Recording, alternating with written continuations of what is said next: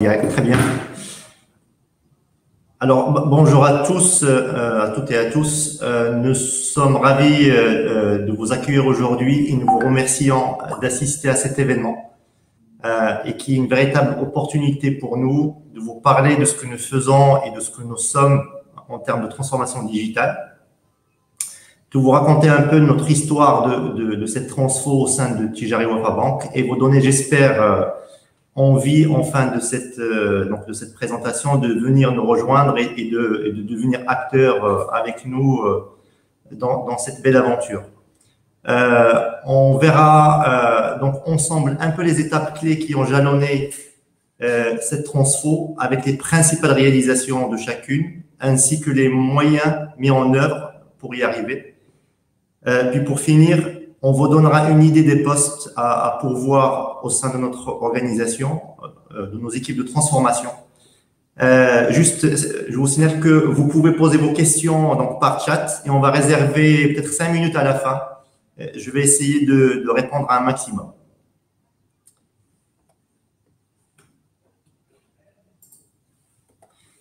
Donc, Juste avant de démarrer, je, vais présenter très brièvement. Donc, euh, donc je suis Hicham Ziadi, directeur euh, exécutif CIO groupe euh, Tijari Wafa Bank.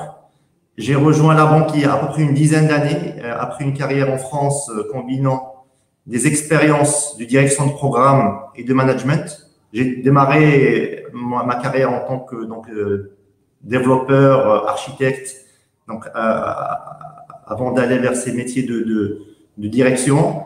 Et, et, et donc, euh, ma carrière, je l'ai passée dans le monde des télécoms et le monde bancaire. Et j'ai rejoint la banque vraiment au moment où le digital commençait à déferler sur notre continent, au Maroc en particulier. Et j'ai eu le privilège et, et la chance d'être non seulement témoin, mais également sur le terrain, aux avant-postes de tout ce que je vais vous raconter euh, et sur comment notre groupe a mené cette transformation. Il faut noter que la banque a démarré cette transformation dès 2013. Donc, c'est pas quelque chose qui date de deux ou trois ans. Ça a démarré il y a très longtemps. Et, la nécessité du temps, de la patience et à impliquer et toucher toutes les composantes d'entreprise. Aussi bien des métiers euh, que les fonctions support et à tous les niveaux. Donc, pas forcément que les équipes de développement ou les équipes métiers qui étaient dans les projets, mais réellement toute la, toute la banque dans, dans, dans ses différentes euh, étages et, différentes compositions. Et, que ça soit d'un point de vue produit, process, méthode de travail, RH, également ont été fortement euh, concernés et impactés. Cette transformation euh, a démarré par, donc comme je disais, ce sont trois phases, euh, grandes phases de, de, cette transfo. Une première phase qui est une sorte d'ouverture, une sorte de juste un starter et, qui, est, et, qui a pris lieu entre 2013 et 2015 et qui était plutôt, on va dire, à toucher euh, les process et les services à la surface. Et à l'époque, d'ailleurs, on ne parlait pas encore de digital. Une deuxième étape beaucoup plus consistante qui s'est étalée de 2016 à 2021, euh, où il a fallu approfondir et amplifier cette transfo qui a, qui a démarré un peu avant par une offre plus riche de produits digitaux et par la transformation du modèle relationnel avec nos clients et une réelle transformation de notre operating model euh, en termes de mise en œuvre de nos services et de nos produits. Sans oublier la partie technologique euh, qui a été modernisée de fond en comble et, et, et, et revue sur pas mal d'aspects qui n'avaient pas bougé depuis un certain temps. Et puis la troisième phase, c'est une phase prospective, donc c'est, la, la transformation ne, s'est pas terminée heureusement, euh, et, et, donc c'est toute la période à venir, donc euh, que nous, nous, nous avons structuré et, imaginé entre 2022 et 2025, et qui sera plutôt une phase de mise à l'échelle, d'accélération aussi, même si on a accéléré depuis la deuxième phase. Donc une, une mise à l'échelle euh, pour toujours garder cette longueur d'avance que nous avons euh, par rapport euh, au marché, par rapport à la presse. Donc, je, vais tout de suite euh, commencer à, à détailler les, les, les, les, trois étapes. Et, et, on commence donc par la la première, disons, la genèse de cette, de cette transformation, et donc qui a commencé en 2013 avec une volonté de s'ouvrir sur le digital. Comme je disais, à l'époque, on ne parlait pas encore de digital, mais on parlait de banque à distance, de, de banque multicanal. Le digital est venu en tant que terme fort un peu plus tard. Et donc cette étape euh, a été marquée par des premières expérimentations euh, agiles et, et, des choix euh, bien affirmés euh, en, en, termes de solutions qui plutôt in-house et plutôt open source. Euh, donc on y a notamment modernisé la banque en ligne en la rendant plus temps réel. On avait une banque en ligne depuis 2001 d'ailleurs, mais qui était en mode en mode J. Euh, une, euh, une offre plus ergonomique avec des nouveaux services phares comme le paiement de facture qui n'existait pas avant non plus. Mais ce qui a réellement fait la différence euh, à ce moment-là, c'est l'arrivée du mobile et donc la, la, la, la banque mobile. Euh, et donc, je vous ai mis un, une petite copie d'écran de, l'interface de notre Tijaré mobile de, de l'époque. Euh, je l'ai mis exprès juste pour vous, dire euh, quel est le niveau de maturité même sur ces questions de design à l'époque. Notez bien également la note euh, dans les stores où, à l'époque on tournait autour de 3, 3 8, 3 9. Et, et, nous avions aussi moins de 10% de nos transactions qui passaient par, par ce canal. L'ouverture au digital a également été portée par des moyens technologiques via la modernisation de notre architecture et une adoption de l'intégration contenue, tout ce qui est usine de développement, tests automatisés, tests unitaires, l'introduction, euh, même timide, mais l'introduction des pratiques craftsmanship et la migration vers des technologies Java J2E et développement mobile euh, sur iOS et Android. Et l'arrivée aussi des premières API. Donc à l'époque, euh, on était à peu près à 150 endpoints en termes d'API. En termes de méthode, donc on a commencé à, toucher et jouer avec la méthodologie agile. Donc, euh, quelques squads seulement et essentiellement autour de la banque en ligne. Donc, une fois cette phase d'échauffement, on va dire, terminée, c'est à partir de 2016 euh, qu'a vraiment démarré la vraie transformation digitale de la banque. Euh, et cette deuxième phase a connu elle-même deux périodes, euh, aux deux actes.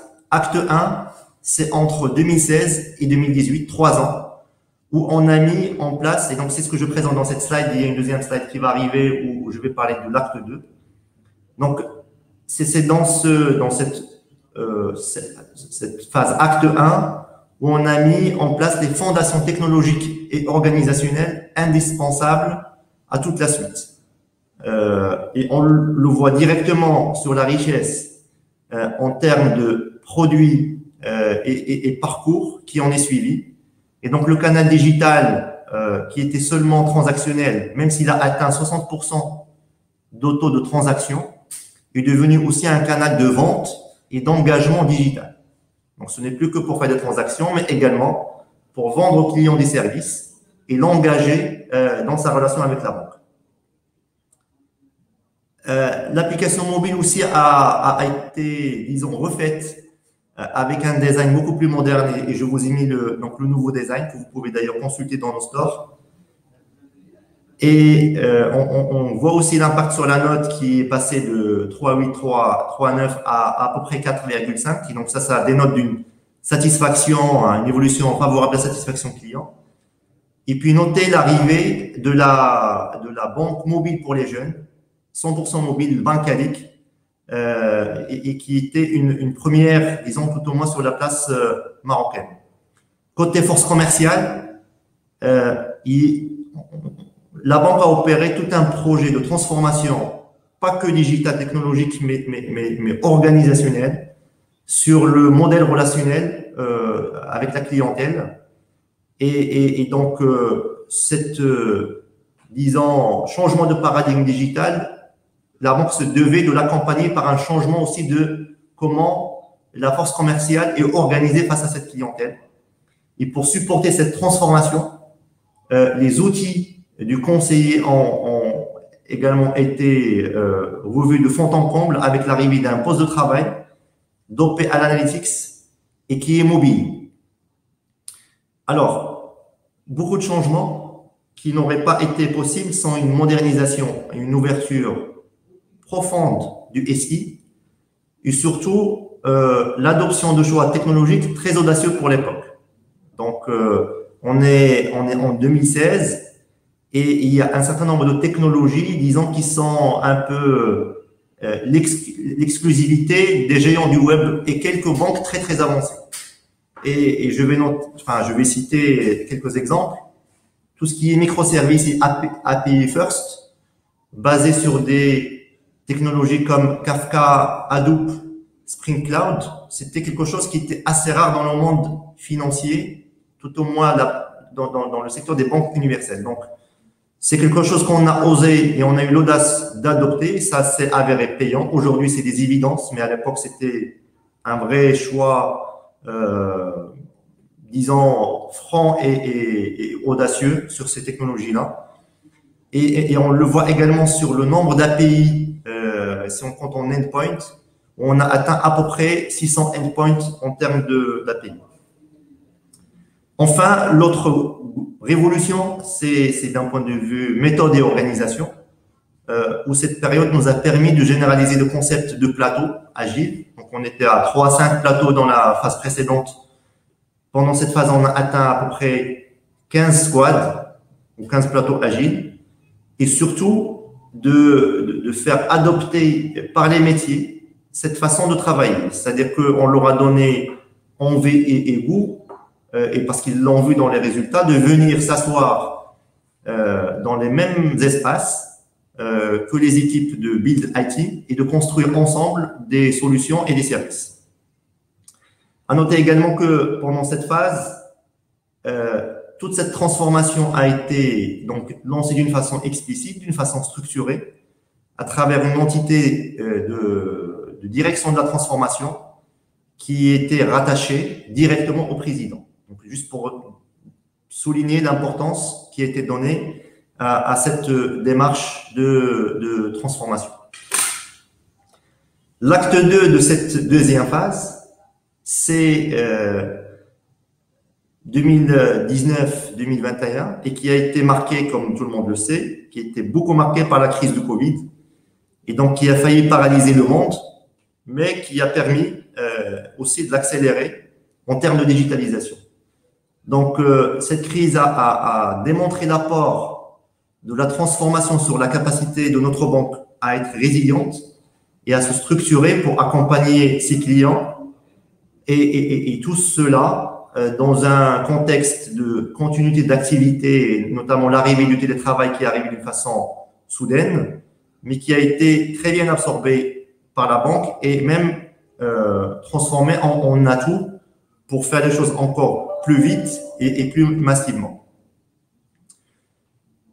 Cette période a également permis la maturation du, du, marché, donc de nos clients, et également de, nos régulateurs, qui se sont donc montrés beaucoup plus ouverts et beaucoup plus audacieux en termes de réglementation. Ça a permis notamment sur la partie offre et produits d'aller vers euh, des process full, digi full digitaux, et donc, euh, la banque euh, a, profité de cette fenêtre, disons, d'ouverture et d'appétence euh, vers la full digitalisation pour lancer l'entrée en relation, donc l'ouverture de compte pour nos clients full digital. Donc, le client peut aujourd'hui ouvrir en signant électroniquement et en étant authentifié par de la biométrie un compte 100% sur son téléphone, sans jamais se déplacer en agence, chose qui n'était pas possible avant. En interne, on a connu euh, une accélération de la collaboration à, distance. Donc, il y avait des projets avant la crise, mais, qui sont devenus francs et, une réalité euh, sur le terrain. Et, tout le monde s'est mis à collaborer et à construire en mode euh, en mode à distance. Concernant la dimension architecture et technologie, toute l'avance réalisée entre 2016 et 2018 ben, il fallait la consolider et l'amplifier, voire l'étendre. Et, ça ne concernait euh, dans la phase précédente qu'une partie même grande, mais c'était qu'une partie de notre SI. Et donc, euh, le, pas le challenge, mais en tout cas la volonté, c'est de dire comment euh, transformer ce succès de la phase 1 qui concernait donc, essentiellement un, périmètre métier à, à, tout, à tous les programmes et à toutes les ambitions de transformation. Donc, si tout d'abord, en termes de technologie, d'aller beaucoup plus franchement vers du, du DevSecOps. Donc, on a créé une squad dédiée, fait à plein temps, euh, avec une quinzaine de personnes, qui ne fait que euh, mettre ce, type d'enabler. C'est, euh, deuxièmement, d'aller vers du cloud privé avec des technologies de, pointe, donc OpenShift Kubernetes, comme de puissants moyens de, dupliquer, d'industrialiser euh, toute, cette technologie-là et, de l'essaimer. La notion d'enabler technologique aussi euh, a vu le jour. Euh, et donc, euh, c'est le la capitalisation et le reuse, presque dans une logique d'éditeur de logiciels interne, et, et, qui va dans une, euh, donc dans une orientation de renforcer la culture code et de, et de craft chez, chez les, les gens de l'IT. Et puis également, euh, c'est de d'explorer de nouvelles frontières euh, technologique en mettant en place un socle open source euh, de RPA et de chatbot sur des, sur des premium use cases. Sur le volet operating model, donc la façon avec laquelle on construit tout ça. Euh, cette phase aussi a connu euh, une très forte consolidation, capitalisation sur l'étape précédente. Et donc, euh, on a créé courant 2019 le Digital Center, qui est euh, un modèle entre la Digital Factory et le modèle Agile at Scale. Donc, c'est une entité où euh, il, y a à peu près 250 personnes euh, de toute provenance au sein de la banque, métier, équipe de build, équipe produit, euh, rassemblés autour de produits et parcours. Et, et on a atteint 35 squads. Rappelez-vous les chiffres, on a commencé par 5, 15, maintenant on est à 35 et qui sont organisés en tribus euh, produits et qui collaborent tous euh, euh autour d'une euh, logique agile et, et produit. D'autres éléments organisationnels ont vu le jour également et je peux citer l'arrivée du Data Office pour traiter d'une façon beaucoup plus explicite et forte la, question de la data, la data science, l'entité innovation, et puis enfin, euh, IT Africa, qui est le bras armé de la banque, pour mener ce même type de, euh, transformation et de duplication à l'échelle de tout le groupe, euh, notre groupe bancaire. Donc là, je vous ai parlé un peu du passé, présent, donc jusqu'à on est encore en 2021. Euh, la troisième phase, c'est une phase prospective. Euh, donc c'est le futur où euh, aujourd'hui euh, on est donc euh, euh, amené à accélérer encore davantage et être encore plus flexible parce que le Covid et, les ruptures que ça a amené nous a appris qu'il faut être prêt à tout et on ne peut pas planifier euh, sur cinq ans ce qu'on ce qu'on ce qu'on va faire. Par contre, il faut avoir tous les enablers, euh, qu'ils soient technologiques ou organisationnels, euh, pour euh, faire face euh, ou être parmi les primo bénéficiaires des opportunités du futur. Maintenant, il y a quelques axes quand même qu'on a identifiés et, que, et sur lesquels on, on se prépare dès de, cette fin 2021 et début 2022. C'est tout d'abord le virage de, l'ouverture sur les, les, écosystèmes, donc ce qu'on appelle l'open banking. Sur ça, le, la payisation est clé, le mouvement vers le cloud est clé, le DevOps est clé parce que c'est des, des configurations qui vont nous obliger à être ouverts, sécurisés et flexibles. Euh, ne pas oublier tout ce qui est donc euh, usage beaucoup plus extensif de la data, de l'IA et du RPA, et donc où, on doit passer d'un mode d'usage euh, disons, partiel exceptionnel à partiel à un mode d'usage généralisé. Ça doit devenir des briques de base.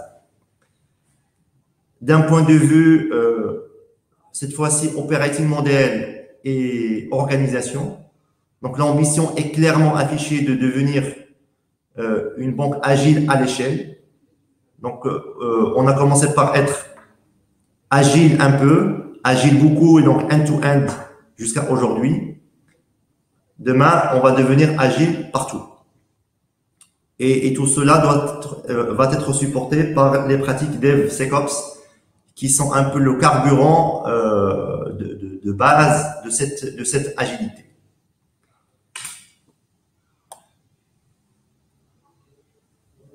Donc, quelle est la résultante en termes, disons, d'écosystème interne aujourd'hui, euh, qu'il soit organisationnel ou technologique, euh, la résultante de cette transformation? Donc aujourd'hui, euh, nous avons euh, un écosystème très favorable à l'innovation, euh, constitué de plusieurs entités qui sont, euh, disons, en, en, parfaite symbiose et, et, qui sont tournées vers le client euh, pour construire des parcours. Et donc, le, le métier Winov, IT Africa, Data Office et la direction de la transformation supportés par des équipes de technologie, euh, tous organisés en tribus euh, euh, et parcours. Donc aujourd'hui, on a 35 squads, sont là pour continuer cette, cette aventure, mais surtout, et ça c'est un message que j'adresse à tous ceux qui sont en recherche de d'excitation intellectuelle, technologique et d'innovation. Surtout, ça constitue un écosystème presque unique euh, dans la région euh, en termes de savoir-faire, en termes de mindset et en termes de richesse technologique. Euh, aujourd'hui, quand on voit le nombre et la variété et le côté pointu des technologies, euh, c'est quelque chose qui, qui, reste assez rare, euh, en tout cas sur notre continent et, et, on va rester euh, toujours dans cette logique de leadership sur tous ces axes.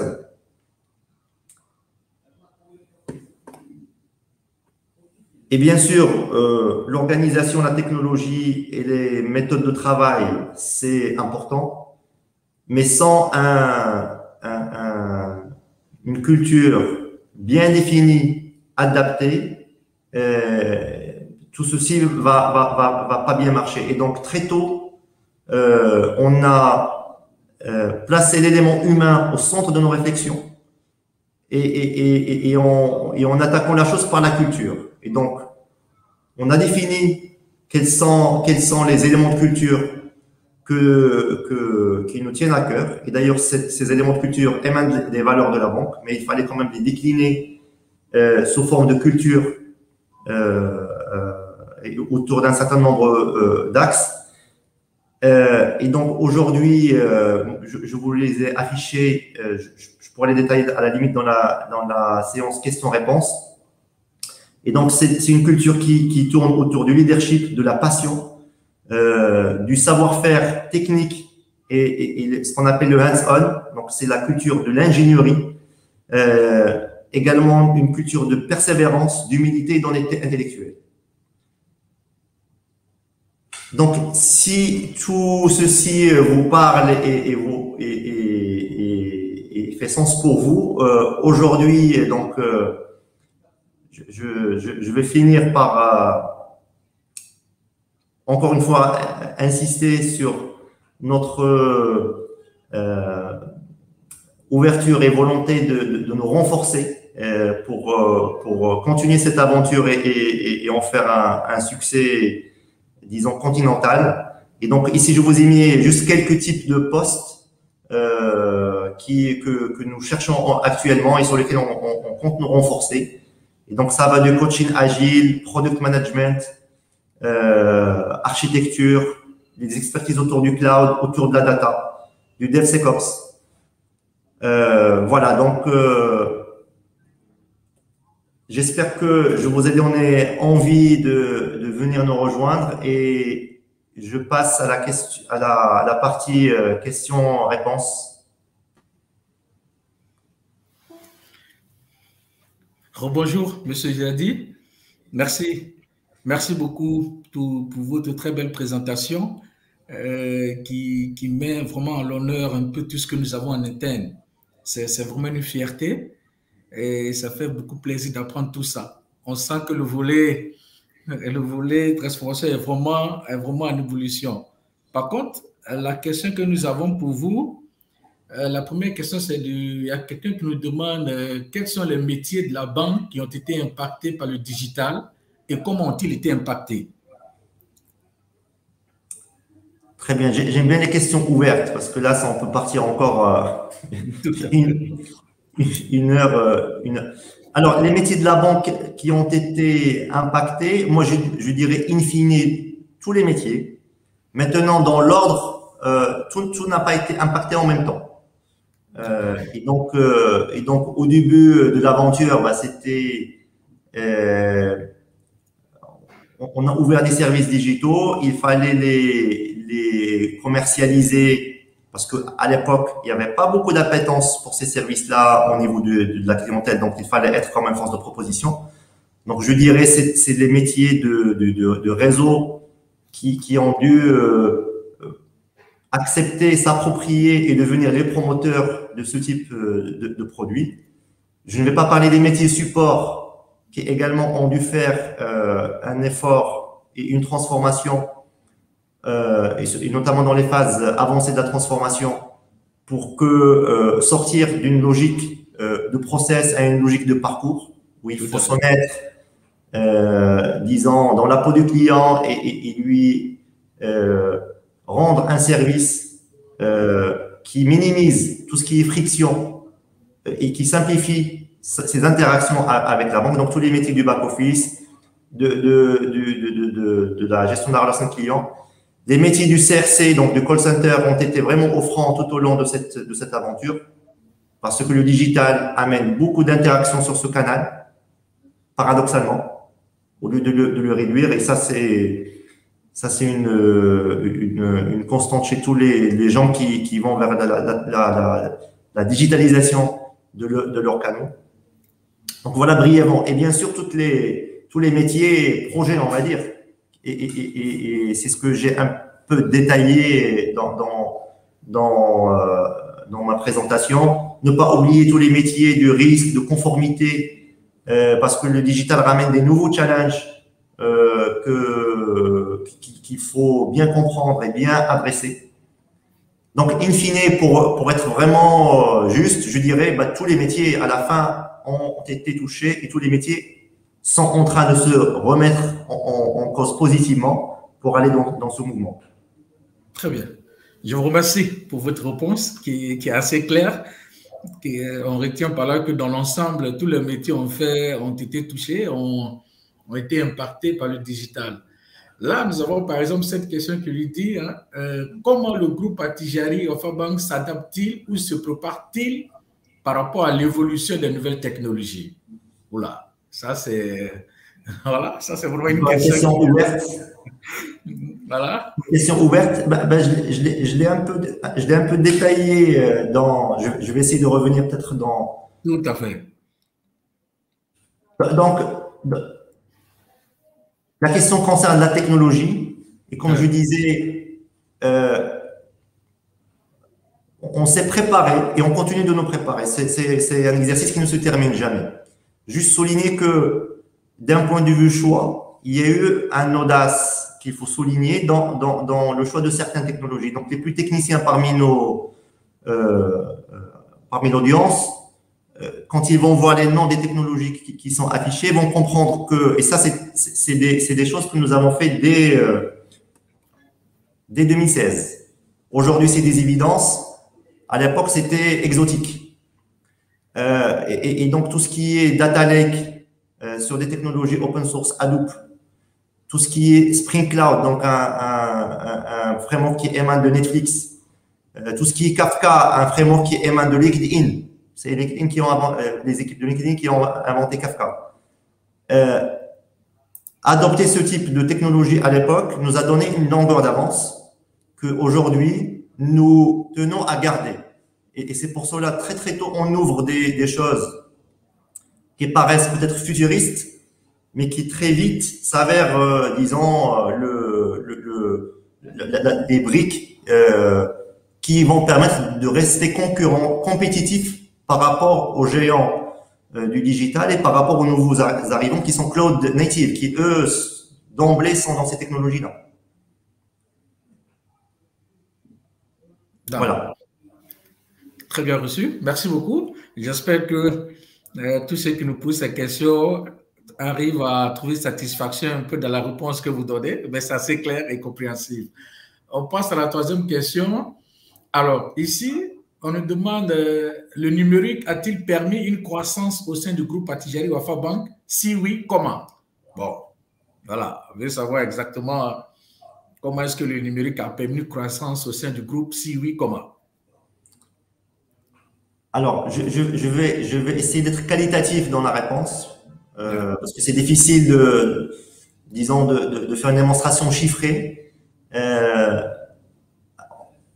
je vais quand même donner quelques chiffres. Hein. Euh, aujourd'hui, quand on voit le, le, taux de transaction dans le digital qui fait une croissance euh, fulgurante entre la première, deuxième et troisième phase, on est aujourd'hui à 80% des, des, transactions qui passent par le digital.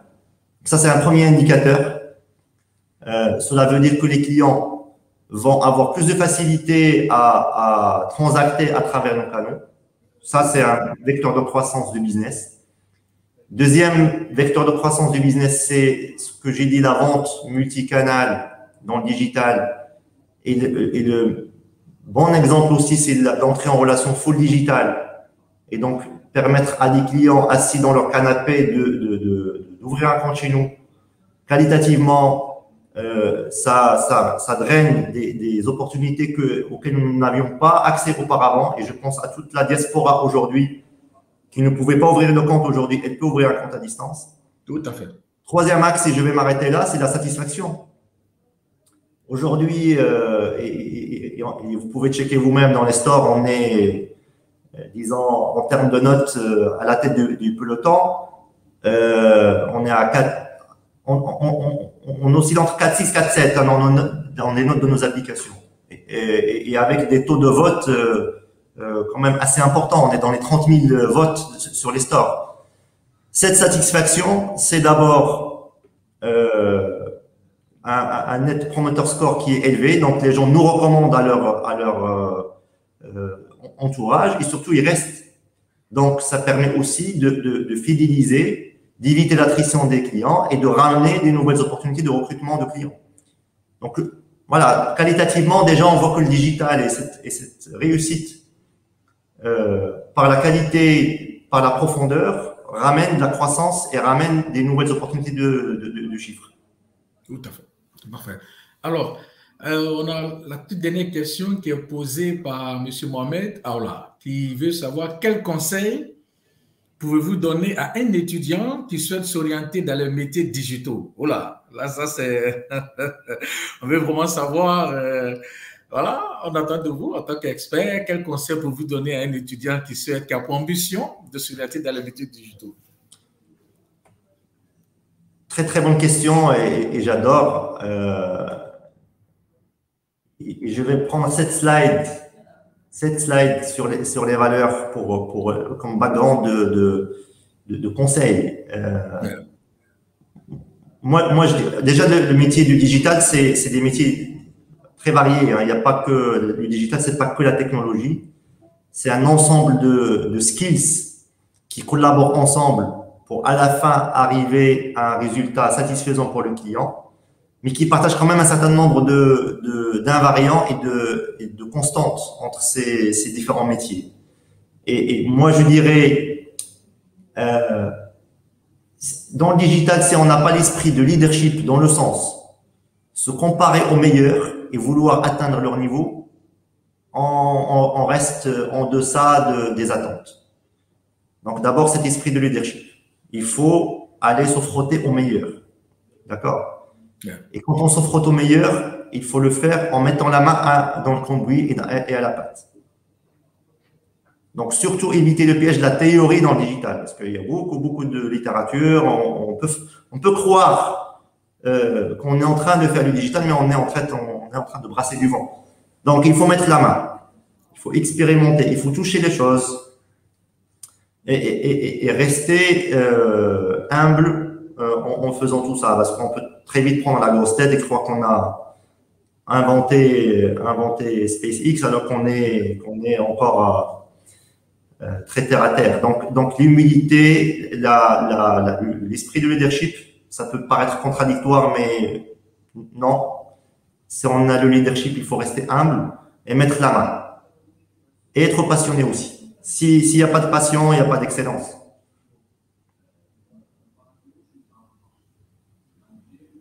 Et puis, si vous voulez exceller dans le digital, venez chez nous. On a un très bon écosystème pour. Euh, Tout à fait.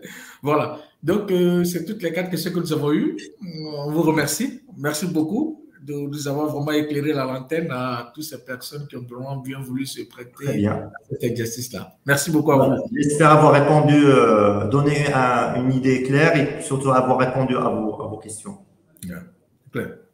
Merci. Merci. Merci. Au revoir. Au revoir. À la prochaine.